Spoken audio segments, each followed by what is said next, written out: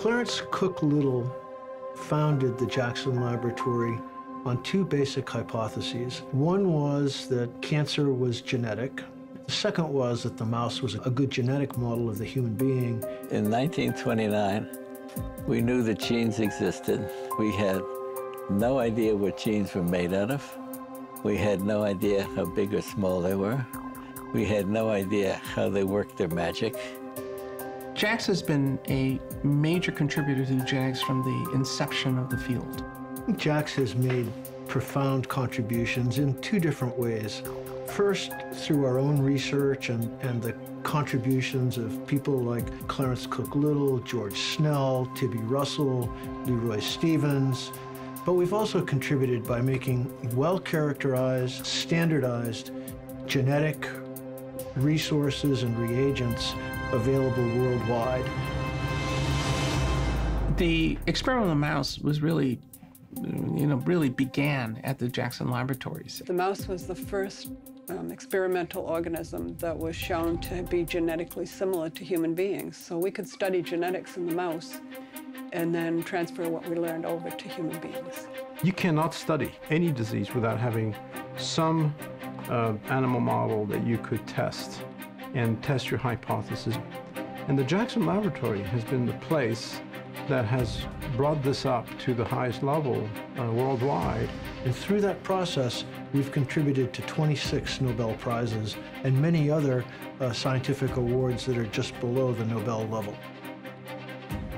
Education's been important to the mission of the lab since its uh, founding uh, 85 years ago. We, we think that there's a fundamental ethical obligation to pass on what we learn and what we know others have learned. Learning to do research, learning to do science, learning to create new knowledge. You don't learn it in a lecture room. You learn it by doing it. I've become so much more aware of what science really is and the aspect, the way it works in the real world. And it's also kind of really shifted my career goals after being here. I know that research is for me. Three Nobel laureates have come out of the program. David Baltimore, Howard Temin, and Jack Szostak. Um, three prominent scientists who've influenced the direction of genomics. The JAX Short Course is an international gathering of scientists and students that brings into focus genetic research as it's occurring. To try to estimate its impact is almost impossible because the impact is so large. Almost everyone who has ever contributed uh, to human genetics has either taught or sat in the lecture room of this course. JAX has become the world's capital, the world's central intellectual resource for understanding how to do mouse genetics. What makes JAX unique goes beyond that. Collaboration is, is the lifeblood of scientific endeavors. From its very inception, the laboratory has sought to create bridges between scientists rather than silos. Our mouse models and our discoveries serve as a point of collaboration for other individuals at other institutions worldwide. The important shift, the inflection point in biology and in biomedical science today is, is really the power of our technologies. We started out with the first human being being genetically sequenced. Uh, it took roughly 15 years and cost something like $3 billion to do it. Today we can do that in 48 hours for $1,200. It's amazing. That kind of expansion in power has never been seen in biology. So many sciences make a transition like this at some point in their history chemistry, going from having fragmentary bits of knowledge about matter and elements to having a periodic table of all the components of discussion. That's, that's the transition biology is going through right now. That doesn't mean you're going to solve everything. It doesn't mean you're going to cure all diseases. But it does mean that for the first time, you do have all the pieces of the puzzle laid out on the table. And that's a huge difference. Eight years ago, the top leadership of JAX sat down and talked about what was happening in genetics and what was likely to happen in genomics. It led all of us to conclude that there were exciting opportunities to understand more about the human genome directly as opposed to working through the model of the mouse.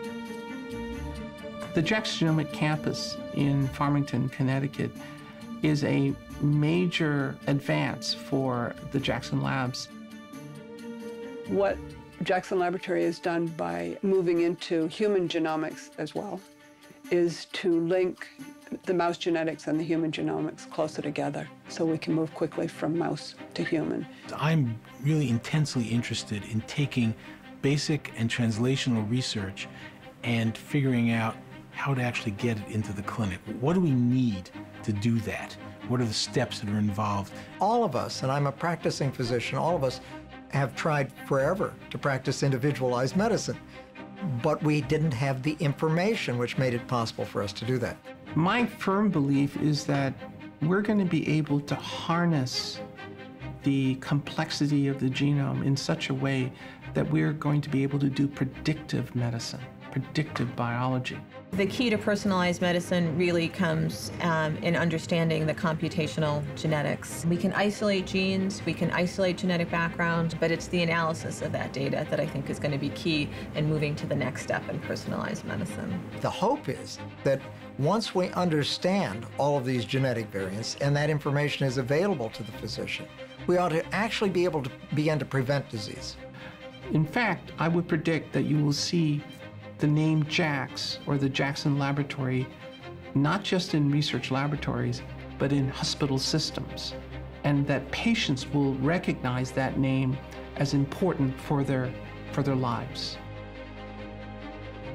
JAX is absolutely singular. There is no place in the world like JAX.